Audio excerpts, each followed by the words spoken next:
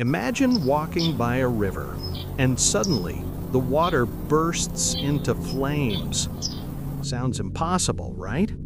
But in the U.S. state of Ohio, this terrifying scene actually happened, and it changed history forever. In 1969, the Cuyahoga River caught fire. Decades of industrial waste and oil dumping turned the river into a floating bomb. When a single spark hit the surface, the river burned, not for minutes, but for hours. Photos of the burning river shocked America. It became a national embarrassment, a symbol of pollution and neglect.